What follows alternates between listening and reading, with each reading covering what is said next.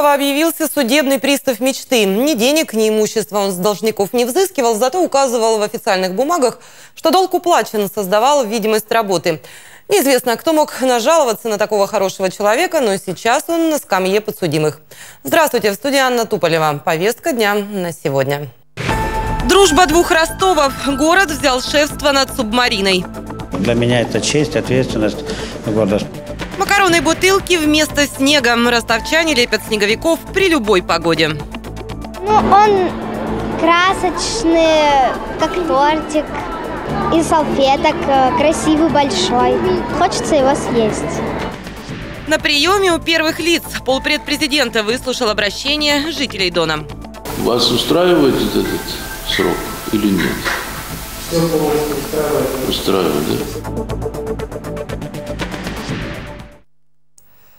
Подводная лодка, которая, которая первой нанесла ракетный удар по боевикам в Сирии, теперь под шефством Ростова-на-Дону. Города, чье имя она носит со дня спуска на воду. Встреча экипажа и руководства Донской столицы состоялась в Новороссийске на месте постоянного базирования судна. Стороны договорились, моряки будут участвовать в уроках мужества для ростовских школьников. Город же, в свою очередь, поможет с доставкой писем и подарков от родственников моряков сегодня показывают там по всем каналам, что наш боевой корабль выполнил э, стрельбы э, потрясающие. Поверьте, это вот, пуск ракеты – это докторская диссертация, вот если вот взять, разобраться. И показывают, пуск произведен с корабля, который называется «Ростов-на-Дону». Для меня это честь, ответственность города. Подводная лодка «Ростов-на-Дону» была спущена на воду в июле 2014 года. Название субмарина получила благодаря помощи, которую донская столица оказывала Черноморскому флоту в 90-е годы прошлого века, а также боевому прошлому Ростова, которые обороняли и освобождали в годы Великой Отечественной пять бригад морской пехоты. Водоснабжение в Зверево восстановлено, и в новом году проблем с водой у жителей города больше не будет. Об этом сообщил замглавы областного министерства ЖКХ Андрей Майер. Напомним, 11 декабря на магистральном водопроводе произошла крупная авария. Отчаявшиеся горожане составили интернет-петицию на имя мэра Зверева и губернатора области – уже несколько лет вода поступает в дома жителей по расписанию, а в последний месяц ситуация стала просто критической. В министерстве опровергли слухи о том, что виной последних порывов стали аварии на новом водопроводе. Сейчас на объекте идут наладочные работы, запуск планируется через две недели. Строительно-монтажные работы завершены в полном объеме, до конца года будут оплачены. А, промывка, опрессовка, как я уже говорил, в настоящий момент в стадии завершения. Кроме этого, необходимо произвести врезку действующих абонентов. Э, до конца года она будет завершена, и э, население получит водоснабжение по новому водопроводу магистральному. Пока новую ветку испытывают, вода в Зверево поступает по старому водопроводу, изношенному на 90%. На нем-то и произошли порывы. На дворе середина декабря, но пышными сугробами зима пока не балует. Впрочем, юные жители Дона не унывают и мастерят новогодние символы – из подручных средств школьники со всех уголков региона привезли на конкурс в Ростов несколько сотен снеговиков. Символы зимы сделаны из макарон, пуговиц, бутылок и других самых неожиданных предметов. Мы обвязывали ш, э, пенопластовые шары нитками, которыми вяжут. Э, и там пуговицы всякие приклеивали. Над этим снеговиком азовчанка Даша Жукова вместе с мамой трудилась два дня. Уверяет, это совсем не трудно. Главное – желание и живое воображение. Рецепт снеговика девятилетней Ангелины Зинченко тоже не сложен. Нитки, мишура до игрушки. Немного фантазии и снеговик оживает. У Олвина глазки из пуговиц, нос трубочка, а пластиковый стакан служит шапкой. Технология проста. Мы его делали, сначала надували шарик, обматывали его нитками и потом делали его клеем и лопали шарик, когда он высохнет. Э, я хочу сказать папе, что он мне помог сделать снеговика. Из-за отсутствия снега донские снеговики значительно видоизменились. В ход пошли бумага, дерево, металл, папье-маше. Все, что пришлось под руку. Вот этого новогоднего красавца вылепили из цветов. Ничем не хуже и его пластиковые собратья. На одного такого уходит около 100 стаканчиков. Есть и пушистые символы Нового года, больше похожие на обитателей тайги. Снеговики из строительной пены. А поклонникам «Звездных войн» придется по душе снежный Дарт Вейдер. В общем, снеговики на любой цвет и вкус. Ну, он красочные, как тортик. И салфеток э, красивый, большой. Хочется его съесть. Съесть оказалось тоже было кого. Главной звездой выставки стал объемный 3D-торт. Параметры рекордного снеговика внушительные, достигает двух метров в высоту и весит более 100 килограммов. Не мудрено. На его изготовление ушло более 48 килограммов сахара, 28 килограммов муки, 250 яиц и 22 литра сливок. Над волшебным тортом кондитеры трудились неделю. Выдавать технические тонкости мастера не захотели, но рассказали, что самое трудное было придать ему объем и подвесить на крепеж. Технически сложно. У торта есть э, собственные характеристики, которые не позволяют его сделать сферическим. Ну, что Пришлось выдумывать. Он объемный полностью, он э, парит в воздухе, он не стоит на земле. Вот такой 3D-торт. Он может поворачиваться. Съедобным снеговиком угостили всех гостей выставки, а самых креативных символов Нового года выберут 20 декабря. Ксения Николаева, Юрий Бабенко. На Дону.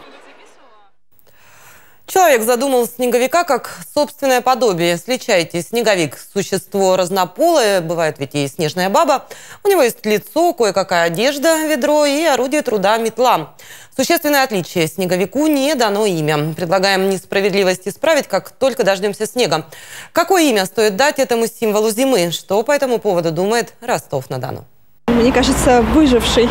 При нашей теплой погоде нужно выжить э, ему, по крайней мере. Мы-то легко себя чувствуем, наш же юг. Создание из снега. А Олаф. Олаф. Ну, мультик был такой. Там этот Олаф, снеговик был. Помнишь? Ага. Да. Россия, конечно, как еще? Снеговичка, Россия, снеговик, россиянин. Наверное, новогодний добряк, снежный добряк. Грязневик, а не снеговик. У нас нету снега.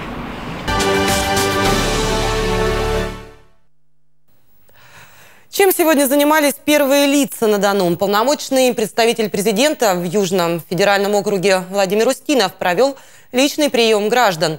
Было рассмотрено шесть обращений. Житель Мартыновского района пришел с просьбой о ремонте дороги в хуторе Малая Мартыновка году выполнена проектно-сметная документация. Дорога э, на следующий год, внутрипоселковая автомобильная дорога, э, включена в программу э, Ростовской области. Э, объем финансирования, предусмотренный программой, э, 8 миллионов 240 тысяч рублей. Значит, в следующем году мы э, до э, четвертого квартала закончим ремонт автомобильной дороги. Вас устраивает срок или нет? Все полностью устраивает. Да? Устраивает. Если будет ремонт, Ну давайте, если вот не, не по сроку приходите, будем заниматься. Будем обращаться. Хорошо.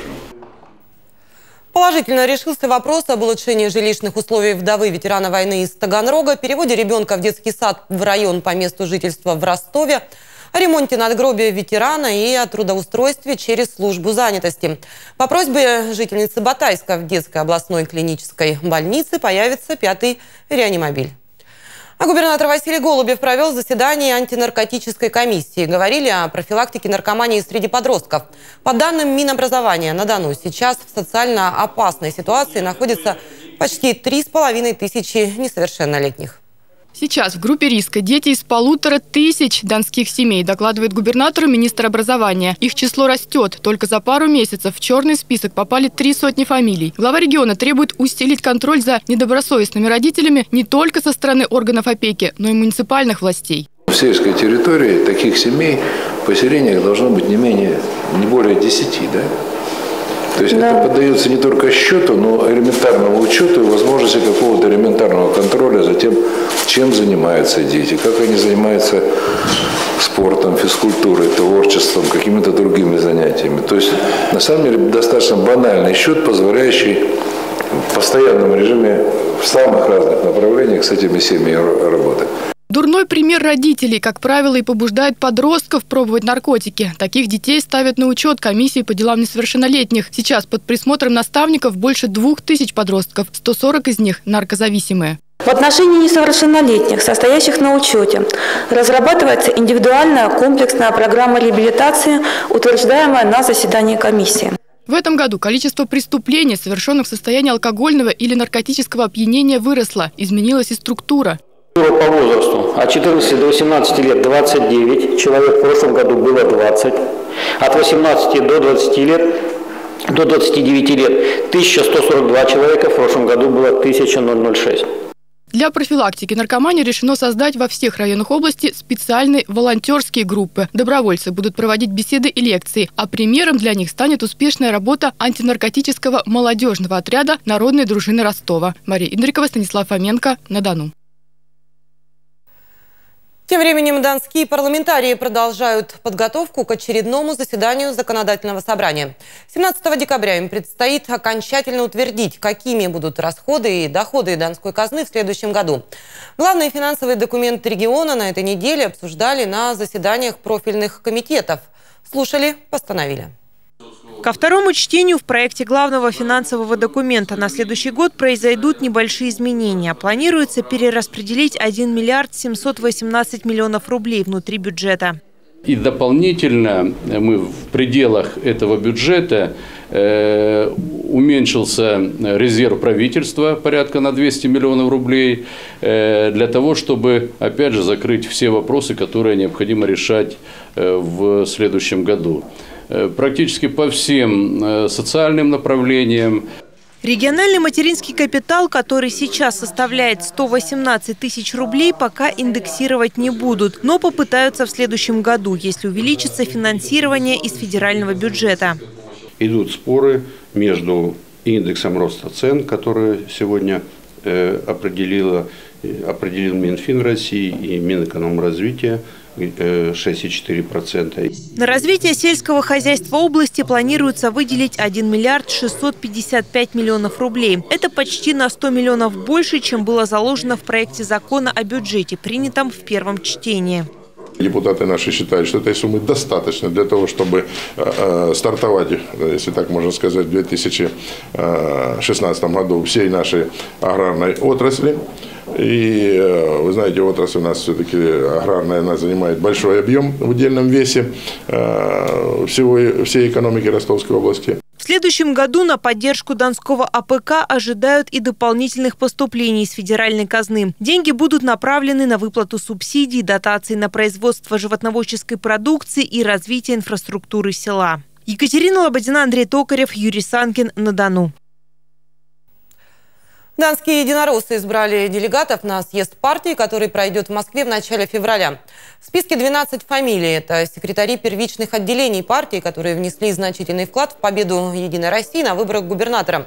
Кроме того, партийцы обсудили послание президента.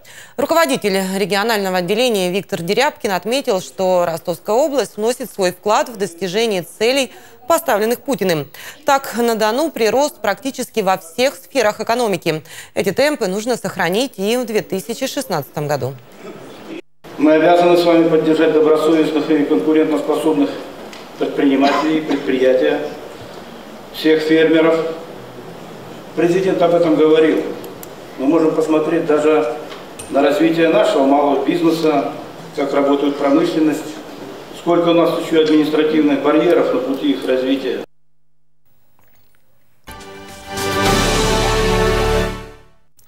Визитной карточкой Ростовской области вполне может стать не только рыба и подсолнечное масло, но и вином, в том числе вино экстра-класса.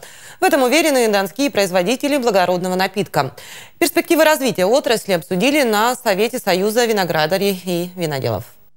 Донской регион – один из ведущих в стране по производству благородного напитка. Площадь виноградников – почти 5 тысяч гектаров. Доля местных производителей на рынке области – 16%, то есть каждая шестая бутылка. И, как показывает статистика последних месяцев, объемы продукции выросли почти в два раза. По мнению участников Совета, в условиях санкций у донских виноделов есть все шансы подвинуть на полках магазинов импортные вина. Но чтобы опередить европейцев, нужна поддержка государства. Власти области свою помощь в этом этом вопросе гарантируют. Уже разрабатывается специальный закон. Идет работа над созданием винного кластера. Вся эта работа проводится под эгидой правительства Ростовской области и сопровождается департаментом потребительского рынка для того, чтобы э, придать и активизировать эту работу вот а, в среде а, сельхозтоваропроизводителей, виноградарей, виноделов, а, таким образом объединяя интересы всех участников. Вместе с представителями власти участники Совета определили основные направления на 2016 год. Это совершенствование законодательства, техническое оснащение и развитие кластера Долина Дона. Сегодня в числе его участников как опытные, так и совсем молодые производители. Корифеи отрасли конкуренции на рынке только рады. Мы сейчас открываем дорогу и наше законодательство настоящим фермерам от виноградарства, которые из своего винограда предлагают натуральное вино. То есть как бы здесь однозначно будет положительный эффект в плане повышения качества вин. И второй момент, что наполняя рынок суррогатами, как бы упрощая этот порядок, э, на самом деле требования остаются достаточно жесткие. Сегодня на Дону работает 8 винодельческих предприятий, порядка 30 крестьянско-фермерских хозяйств, которые выращивают сырье, готовы получить лицензию на производство. Сергей Мирошниченко, Станислав Фоменко на Дону. Донской публичной библиотеке завершилось сказочное путешествие в страну кукол. Там подвели итоги восьмого фестиваля «Кукла Дона». Этнические, обрядовые, сценические, игровые, коллекционные и интерьерные. В этом году на конкурс было представлено почти три сотни работ. Зарина Черкешенко, Рузанна Кабардинка, дагестанская аварка, Неда, понтийская гречанка. Куклы словно выстраиваются в большой интернациональный хоровод. И не случайно, ведь на Дону проживает почти полторы сотни народов. Мы выражаем благодарность авторам, которые на этой площадке дали возможность многочисленной зрительской аудитории еще раз соприкоснуться с богатейшей культурой многонационального Донского края. Три сотни кукол, одна другой краше. Как одно большое сказочное творение рук мастеров со всех уголков региона. И опытных, и еще совсем юных. Вот в этом году мероприятие принимает очень большое количество молодежи. И значит, что это мероприятие имеет ну, будущее, и мы его будем, естественно, развивать. Куклы из глины, текстиля, пластика. Анатомически точные фигуры безукоризненно воспроизводят внешность человека, гротескных персонажей из мультфильмов, сказок или легенд. Выбирая победителей, жюри пришлось нелегко. Обладателем гран-при стала Светлана Деркач. Изготовлением кукол мастерица увлекается уже два десятка лет. К созданию каждой подходит основательно. Зависит от того, может быть за месяц, можно за полгода сделать одну работу, в зависимости как идет, насколько подобран материал исторический насколько готовы какие-то материалы. Например, вот, э, чтобы сделать кокарту казаку, мы изучили очень много литературы, посмотрели, как она выглядит, сделали это в масштабе. Точно так же погоны, э, награды. Обладателем гран-при среди юных мастеров стала Софья Гурская. Она представила на конкурс сразу несколько уникальных кукол, посвященных народной тематике. Я представляю три работы. Э, первая Лейся песня на завале, вторая мы делали текстильные куклы, и третья вместе с девочкой делали. Конкурс «Кукла Дона» становится все популярнее. Число его участников, как и количество работ, растет из года в год. В планах правительства области, при поддержке которого проходит фестиваль, в 2016-м выйти за пределы региона. Ася Скрынникова, Евгения Слинкина, Станислав Фоменко на Дону. Далее в выпуске сообщения с мест. Впервые в современной истории у казаков станицы Верхней появилось свое помещение. Оно было выделено почти год назад. Ремонт сделали своими силами. Главным моментом торжественного открытия и отправной точкой благих начинаний станичников стал обряд освящения. Теперь здесь будут проводить совет атаманов и встреча окружного правления. Вот услышал от одного уважаемого человека фразу, он сказал «хорошая хата». Предприниматели Новошахтинска встретились с донским бизнес-омбудсменом Олегом Дерезой. Главной темой стали вопросы импортозамещения. Участники дискуссии говорили о том, как обеспечить население качественными и доступными по цене продуктами питания, лекарствами и товарами повседневного спроса. Крестьян, фермерские хозяйства волнуют отсутствие э, храни, отсутствие овощехранилищ, где они сами признают, что они могли бы увеличить выработку сельхозпродукции, однако им негде, негде хранить, и э, идет проблема с газом для отопления теплиц, где они тоже мы могли бы э, увеличить выпуск сельхозпродукции. Это конкретные предложения, конкретные проблемы. В Азове дом номер 139 по переулку Калантаевскому на грани разрушения. Просел фундамент, из-за этого у дома рушится потолок и течет крыша. С этой проблемой жильцы обратились к местным чиновникам, которые обещали посодействовать и перенести капремонт дома на 16 или 18 год. Мы не можем даже хотя бы сами, своими силами, мы не можем отремонтировать подъезд. Мы живем прям как, не знаю, каких-то э, трущобах. И кто не заходит к нам, все думают, ну что же за жители здесь такие живут. А почему вы не можете своими силами? А потому что нам сказали, что не трогайте пока ничего, ваш дом поставлен на капитальный ремонт в 2016 году. Однако, обратившись в областное министерство ЖКХ, жильцы получили другой ответ. Делать капремонт и укреплять просевший фундамент дома планируют только через 30 лет. Завтра Донская лига КВН объявит имена лучших юмористов 2015 года.